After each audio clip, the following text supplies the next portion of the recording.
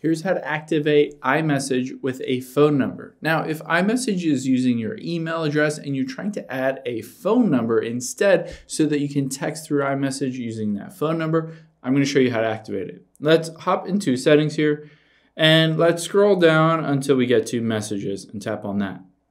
Now here under iMessage, you can see send and receive, and I can tap on that, and it gives me two different options, either my phone number or your email address.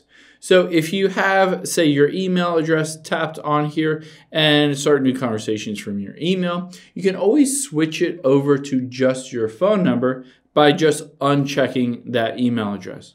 Now, if you don't see a phone number on here, you only see the email address, you're to need to add the phone number so that you can activate it with iMessage. So let's do that. Let's go back and back, and we'll go to the very top. Tap on your name, and then we'll tap on name, phone numbers, and email.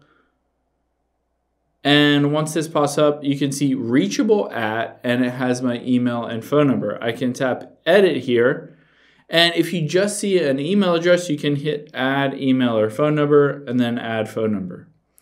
Now, all you'll do is you'll just type in that phone number uh, and so type in your phone number like this. It will send a verification code to that specific phone number. Once you've verified it, it will be attached and associated with your Apple ID.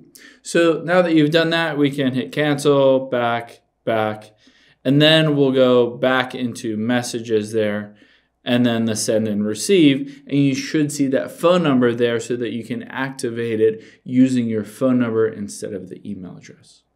Hope this helps. If you have any questions on that, leave them in the comments down below, and I'll catch you on the next one.